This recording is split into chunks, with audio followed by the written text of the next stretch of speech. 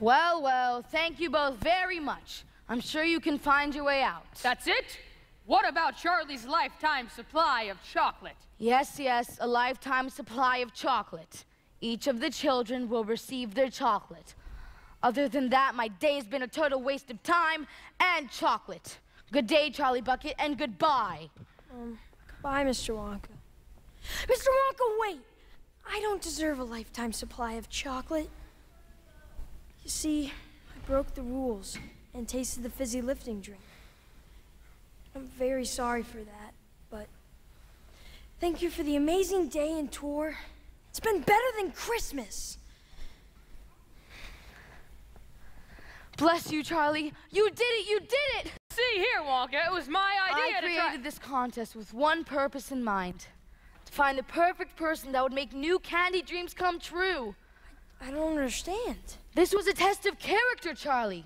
I carefully selected rooms that would tempt each of our golden ticket winners. And you, Charlie, did something quite remarkable. You gave in to temptation, you were smart enough not to get caught, and you admitted your guilt. But the other kids, They'll will be fine. They'll each receive the booby prize, a lifetime supply of chocolate. That's the booby prize. Well then, what's the real prize? Charlie, do you love my factory? Of course. It's the most wonderful place in the whole entire world. I'm very pleased to hear you say that because from now on it's yours. What do you mean? I'm giving you my factory, Charlie. I need an heir, and that person is you. You want me to run this entire factory? But what about mom and dad The and entire family can live here. I'd love to. I'd